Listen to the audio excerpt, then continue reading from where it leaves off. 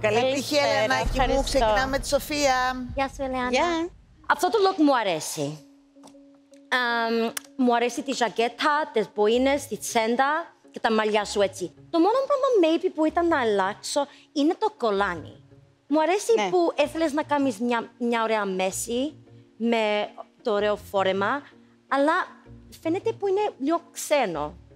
Maybe χρειάζεσαι κάτι πιο like white εδώ, με- α, δεν ξέρω τι, αλλά σίγουρα κάτι ασημένιο ακόμα. Θα ήταν και πιο ωραίο. Αλλά τα χρώματα και τις υφές που έβαλες μου αρέσουν και το κρεόν.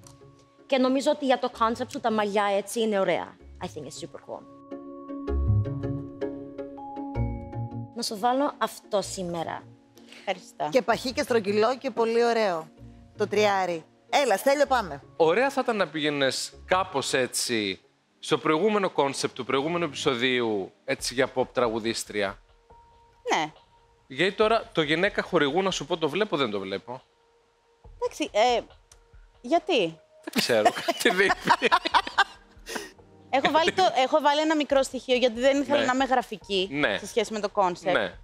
Ε, αλλά και να υπάρχει και ένα στοιχείο που να πεις ότι μπορεί να πηγαίνει και κάπου έτσι σχετικά. Άκου Εντάξει, τώρα, κατά αυτό τα το άλλα μικρό φόραγα στοιχείο παντού. είναι πολύ μικρό. Και τα αξεσουάρ, δηλαδή οι μπότες και η τσάντα, νομίζω ότι μπερδεύουν πάρα πολύ όλη την εικόνα. Θα προτιμούσα, μου αρέσει πάρα πολύ αυτό που βάλες από μέσα, μου αρέσει και το τζάκετ, μου αρέσουν και τα δερμάτινα. Θα προτιμούσα να το χτίσεις πάνω σε αυτό που έβαλες από μέσα περισσότερο και ας μην πήγαινες εκεί, να πήγαινες κάπου αλλού και να έχεις μια εικόνα εμπνευσμένη από, του, από τους αγώνες ταχύτητας. Δηλαδή θα μπορούσες να έχεις μια μπότα σκακέρα.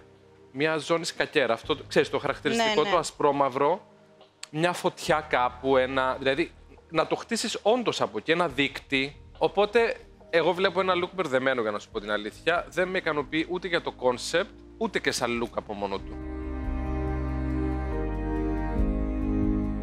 Λιάννα μου δεν μου αρέσει. Ένα. Α, εντάξει. Έχει πάρα πολλά λάθη. Δημήτρη μου. Λοιπόν, δεν μου αρέσει το concept. Θα προτιμούσα ένα εσύ χορηγό αυτοκινήτων, η αλήθεια είναι.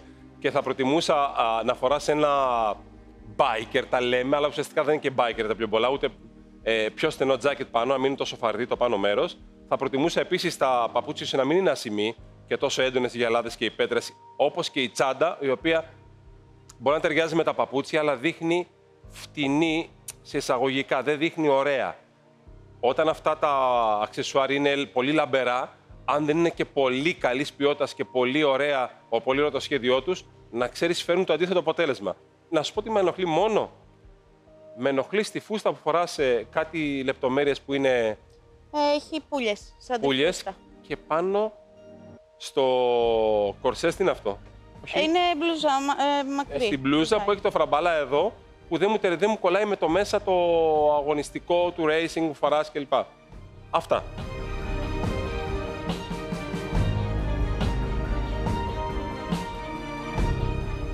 Ευχαριστώ. Τα βιντεάκια στο Instagram είναι τέλεια.